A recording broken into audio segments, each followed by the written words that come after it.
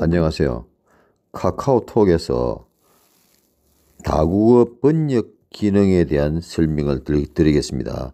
한국어를 영어로 번역한다든가, 혹은 프랑스어, 중국어, 일본어 등 다양한 언어를 상호, 상호 번역하는 방법에 대한 설명입니다. 자, 카카오톡을 터치하겠습니다. 카카오 터치해서 저 위에 상단에 제가 제 창, 자신의 창으로 가겠습니다. 가서 여기서 에, 다국어 번역 메뉴 사용 방법에 대한 설명을 드리겠습니다.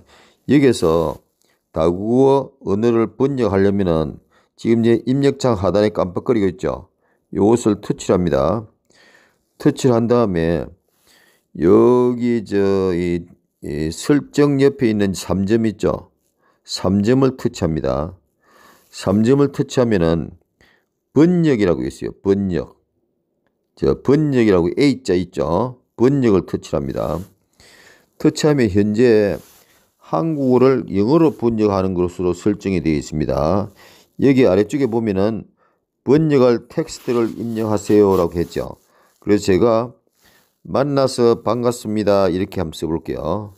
만나서 반갑습니다. 이런 언어를 한국어를 영어로 번역하겠습니다. 이렇게 넣은 다음에 첫, 저 최하단 오른쪽에 보면 A자는 아이콘 있죠.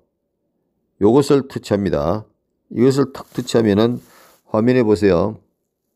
화면의 입력창에 Nice to meet you 이렇게 한글이 영어로 번역되었죠. 자, 그러면 이것을 자, 이걸 지우고 자, 이것을 만나서 반갑습니다. 지우고 한국어를 영어로 돼 있죠. 영어 이것을 터치해서 영어라는 이 글자를 터치해서 다른 언어로 한번 해보겠어요. 중국 여기 보면은 영어, 중국 간체, 독일어, 일본어 등 다양한 언어로 분역이 가능합니다. 이게 쭉 보시면 굉장히 많은 언어가 나옵니다.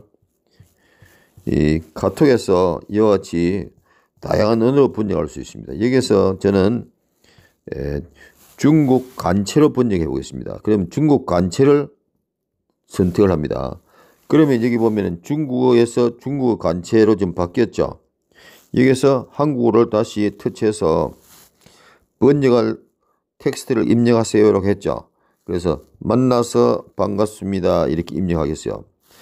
그렇게 한 다음에 저 밑에 번역하는 아이콘 있죠.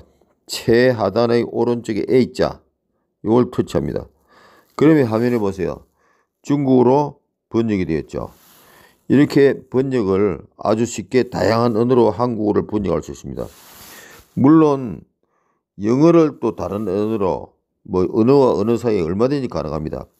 여기서 한국어라고 되어 있죠.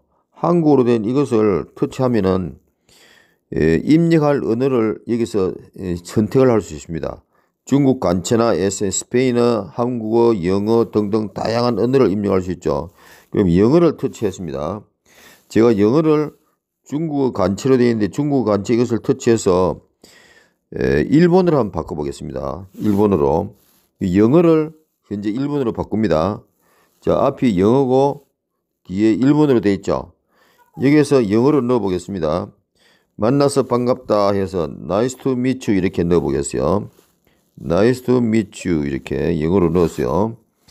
그리고 하단에 하단의 오른쪽에 제일 하단에 오른쪽에 A자 있죠. 이걸 터치합니다. 터치하면 이와 같이 일본어로 번역이 됩니다. 그래서 다양하게 예, 입력하는 언어도 변경할 수 있고 입력하는 언어 영어로 영어라는 글자 있죠. 이거 터치해가지고 입력하는 언어를 입력하는 언어를 다양하게 자기 나름대로 선택을 할 수 있습니다. 그렇게 할 수 있고 다음에 번역되는 언어도 일본어라고 되어 있는 거 있죠. 이걸 터치해서 이렇게 다양하게 자기가 원하는 대로 설정을 할 수가 있습니다. 이렇게 해서 번역을 하면은 에, 다양하게 언어를 번역해서 이것을 복사를 하는 거예요. 이 번역된 것을 예를 들면 이 번역된 것을 이렇게 인 출력한 다음에 이것을 길게 눌러서 복사를 하면 되겠죠. 복사를 해서 에, 키네마스터에 가서 자막에다가 입력을 하면은 한국어를 위에 넣고 아래쪽에는 뭐 일본어라든가 중국어라든가 영어라든가 이렇게 넣어서 자막을 넣어서 하면은 보다 더 에, 사용자 친화적이 되겠죠.